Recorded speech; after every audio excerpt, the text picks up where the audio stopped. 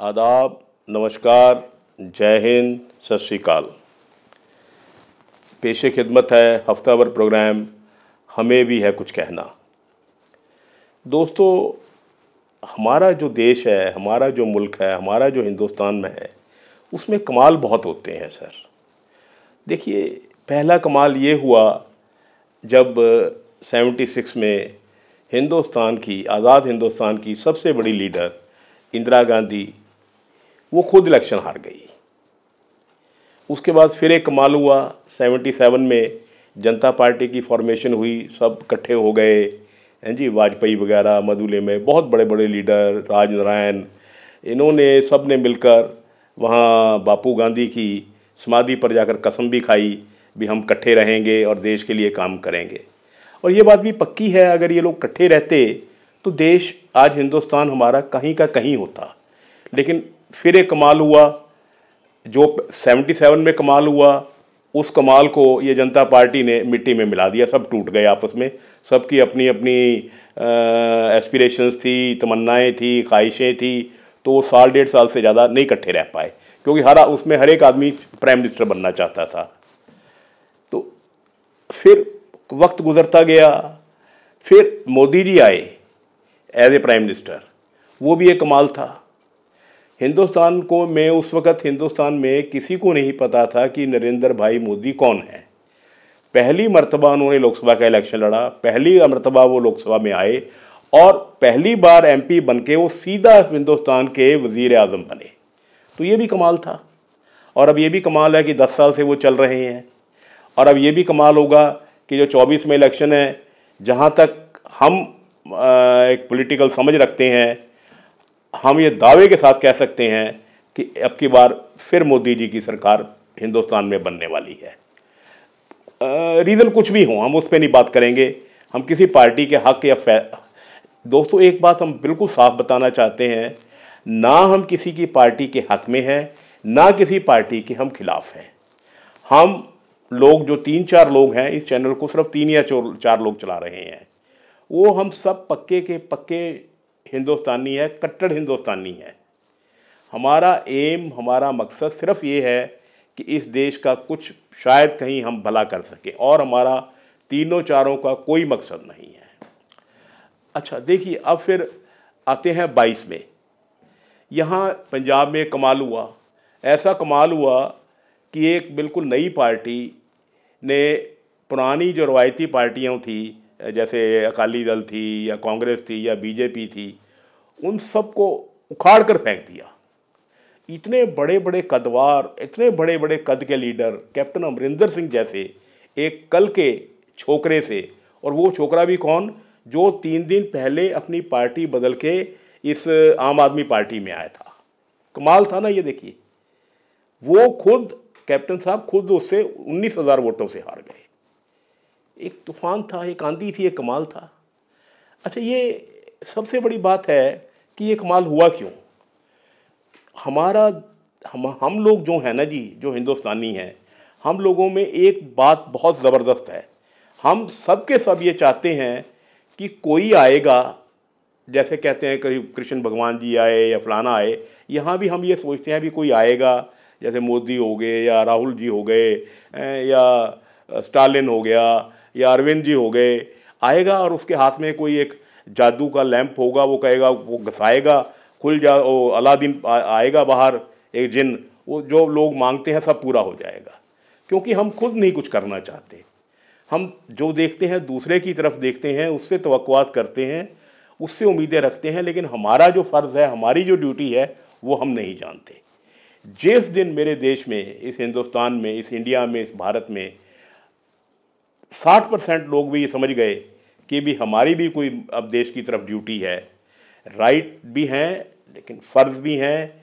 ये जिस दिन हम समझ गए और फ़र्ज़ अपने निभाने लग गए, तब हिंदुस्तान बदलेगा। ना इसको अरविंद बदल सकता है, ना राहुल बदल सकता है, ना स्टालिन बदल सकता है, ना टी, ना बीजू पटनायक ना नवीन पटनायक बदल सकता है, ना कोई और बदल सकता है। अच्छा हम बाईस की बात कर रहे थे पंजाब पंजाब में आते हैं दोस्तों। आज हम सिर्फ़ इस सरकार की दो बातें करेंगे।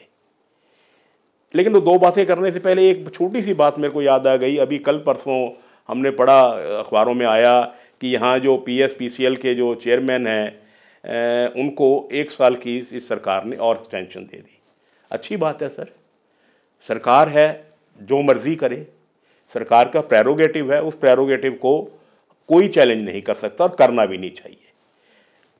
जहाँ तक हम मालूम रखते हैं, जो मौजूदा चेयरमैन साहब हैं, अच्छे आदमी हैं, मेहनती हैं, और सादे हैं, सिंपल हैं, और कहा जाता है कि ऑनेस्ट भी हैं। लेकिन सर, उनके खिलाफ एक, दो या तीन कंप्लेंट्स विद एफिडेविट्स उनके मुलाजिमों ने, जो उनके पुराने मुलाजिम थे, कोई एस है, कोई एस चीफ इंजीनियर है विजिलेंस में दी हुई हैं। चंडीगढ़ भी दी हुई हैं, पटियाले भी दी हुई हैं। हम ये हरगिज़ नहीं कह रहे कि वो इन्वॉल्व हैं, लेकिन सर, आपका फ़र्ज़ बनता है, अगर कोई बंदा एफिडेविट दे रहा है, उसके खिलाफ कम से कम कोई एक प्रिलिमरी एक छोटी सी इंक्वायरी तो कराई जाए। वो करा के आप उसको बरी कर दो, लेकिन बिल्कुल उस पर गौर ना देना बल पे उस पर तवज्जो ना देनी, ये कहाँ की बात है, ये कहाँ का इंसाफ है? तो ये इससे पता लगता है, इससे शक उठता है, सर। ये जो कट्टर ईमानदार वाली बात है, यहाँ ये थोड़ी सी धुंधली हो जाती है। मान साहब, सोचिएगा इस बात को। नंबर, अब दे, अब नंबर एक बात करते हैं। हम आज ये नहीं कहेंगे भी आपने ये किया, वो किया, कुछ नहीं बात करेंगे। देखिए 22 में जब आप लोग जीते, आप बानवे लोग जीत के आए, उनमें से एक आप भी थे। बानवे के बानवे एक आपको छोड़ के आपके पास दो क्योंकि आप तब मेंबर पार्लियामेंट थे आपके पास चार पाँच छः सिक्योरिटी के बंदे थे। उसके अलावा इक्यानवे लोग में से दो तीन और थे अमन वगैरह थे शायद एमएलए।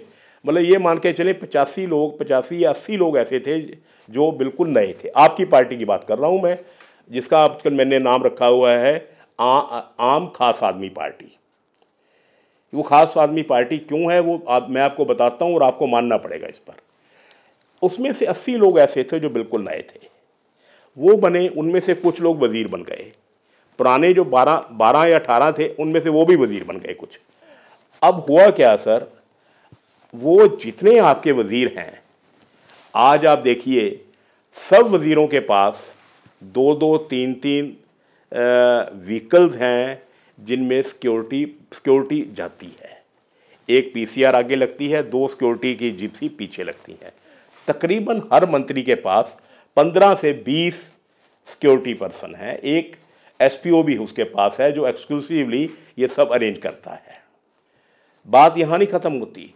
कोई भी मंत्री आपका, कोई भी मंत्री मैं कह रहा हूँ, मैं फिर कह रहा हूँ कोई भी मंत्री जब घर से निकलता है, चाहे वो पेशाब करने जाता है बाहर, गार्डन में, मान लीजिए, या सैर करने जाता है, उसके आगे पहले हूटर बजता है। एक गाड़ी चलती है जिसमें हूटर बजता है। ठीक है, सर?